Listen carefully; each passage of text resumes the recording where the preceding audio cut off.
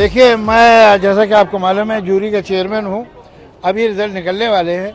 मैं अपनी राय दे नहीं सकता हूँ आपको। इसलिए मेरे होठ जिप लगा हुआ है। और अभी थोड़ी देर में आपको मालूम हो जाएगा। अच्छी बात यह है कि जितने फाइनल में आए हैं, सभी अच्छे हैं। और अगर नहीं होते तो आ नहीं सकते थे। इसलिए कि सॉन्ग राइटर्स और म्यूज़िक डायरेक्टर्स ने और सिंगर ने उन्हें छान के यहाँ तक भेजा है। इस साल 25-30 गाने मेरे हिट रहे हैं और खिलाड़ी भी हिट रही है तो बहुत खुशी हो रही है। और रेडियो मिर्ची अवार्ड में ये हमारा घर है, कहीं ना कहीं म्यूज़िक के अवार्ड्स हैं। और मैं और मीका साथ में परफॉर्म कर रहे हैं, क्योंकि इस साल कुछ 20-25 गाने उसके हिट है और मेरे भी 20-25 गाने हिट है तो एक जुगलबंदी हो रही है तो एक फन परफॉर्मेंस है। और बच्चन साहब को भी ट्रिब्यूट देंगे सो इट्स इट्स फन मैं यहाँ पे अपने लिए नहीं आया हूँ, मैं यहाँ पे अपने दादा का रिप्रेजेंटेटिव बन के आया हूँ जिन्होंने एक फ़िल्म बनाई थी बैजू बावरा। जिसको आज पुरस्कार मिल रहा है तो वो पुरस्कार लेने में यहाँ पे आया हूँ। बच्चन साहब के हिट सॉन्ग ही नहीं है बच्चन साहब अपने आप में हिट हैं उनकी पिक्चरें हिट हैं।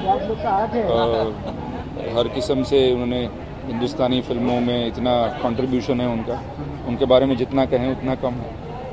आई थिंक बहुत बड़ी बात है क्योंकि आर्टिस्ट के लिए उसका सम्मान उसकी सबसे बड़ी चीज़ होती है।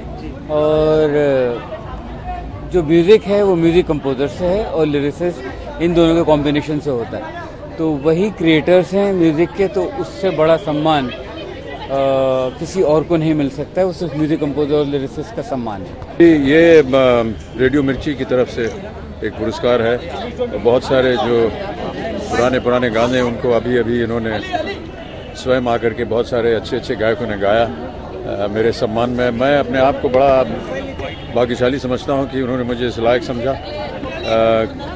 कई जो हमारे म्यूज़िक डायरेक्टर्स हैं संगीत निर्देशक उन सबको मैं अपनी ओर से धन्यवाद देना चाहता हूँ और जितने भी लोगों ने मेरे गीत गाए हैं उन सबको और ख़ास तौर से जिन्होंने आज परफॉर्मेंस किया उनको मेरी तरफ़ से बहुत बहुत धन्यवाद और बधाई।